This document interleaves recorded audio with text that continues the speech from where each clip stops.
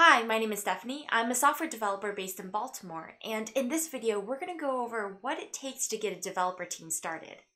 We'll also cover what typical development teams look like, some tips that make them effective, and some neat tools that you can use to make collaboration easier.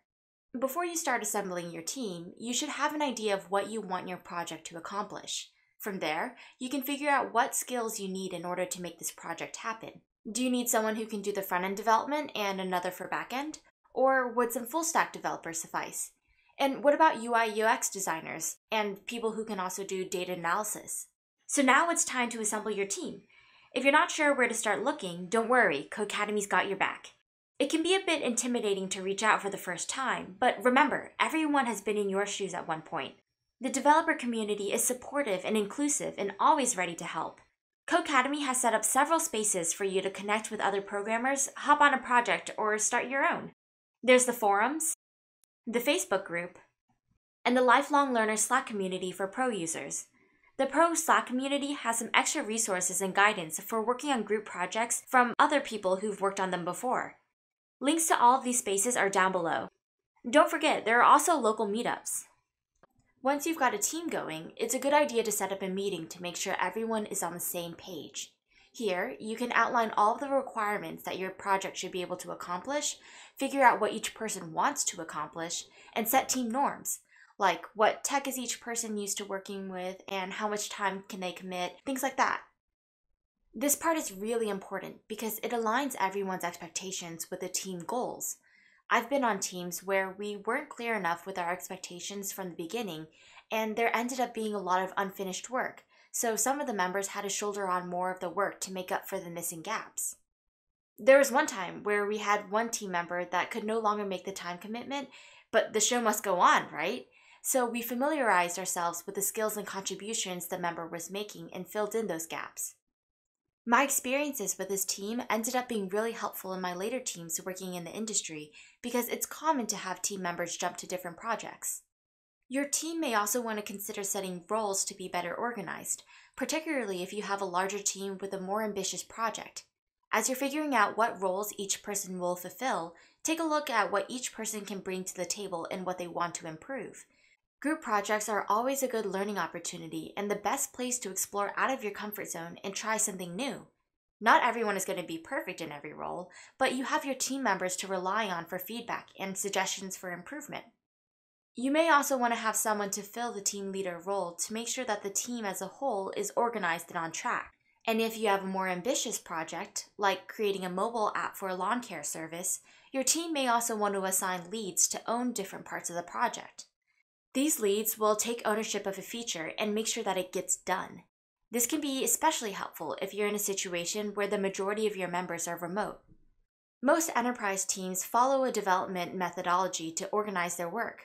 It gives the team transparency so every member is kept up to date with the project's progress and contributing together as a team. If you have a sizable team, like more than two or three people, I recommend following one of these methodologies.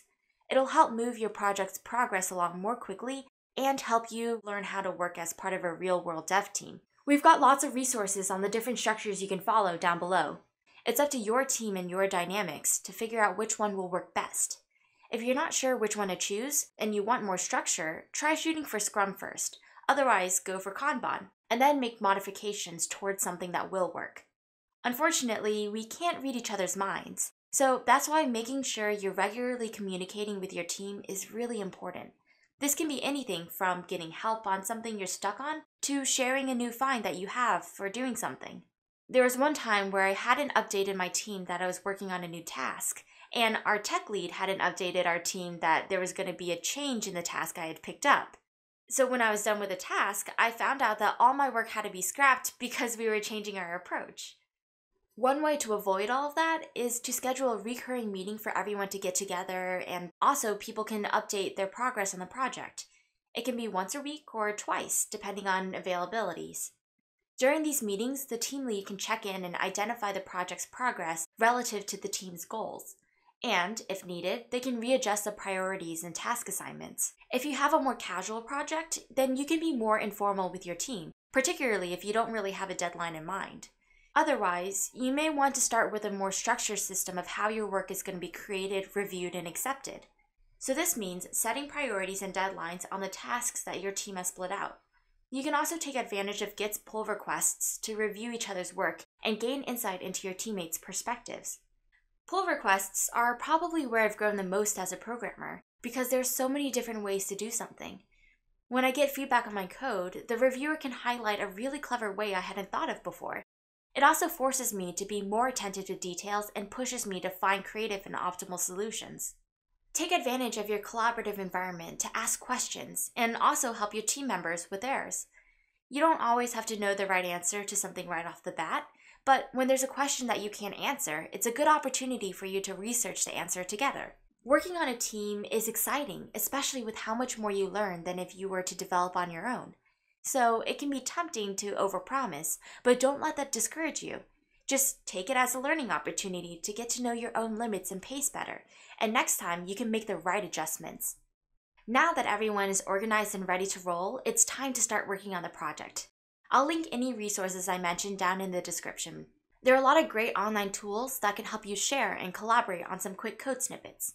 You can use JS Fiddle, Repl.it, or CodePen.io. Just note that JS Fiddle and CodePen are really more if you're writing code for front-end web development. They are low commitment since you don't even need an account to use any of these. And they also do the hard work of setting up the environment with the basic dependencies you need so you can just start coding right away. But for collaborating on a large scale project, I highly recommend using Git. Codecademy has a free course and some helpful videos on getting you started with Git if you haven't used it before. What's great about it is that it'll help your team with version control, especially when you and your other teammates are working on the same files at the same time. You can also use GitHub or GitLab to store all of your projects. They'll help you build out your repertoire and you can share them with anyone, even potential employers. Feel free to check out the link below on more info about Git and GitHub. Pretty much every team I've worked on uses Git, and I even use GitLab in my work now. You'll also want some kind of way to track your tasks and assign them to team members. If you're just getting started, Asana and Trello are some solid options that will give you the functionality you need and more. For communication, Slack and Discord are really good options. They make it really easy to share files, code snippets, and make video and voice calls. The video calls also have screen sharing available. You can also quickly look for previous messages or shared files from any given person at any given time, including yourself.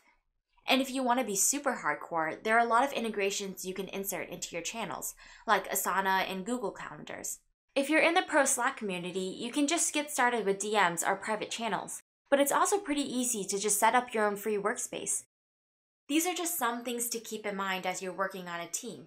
Not every solution will work for every situation, but starting a group project is a great way to build out your team skills. Good luck!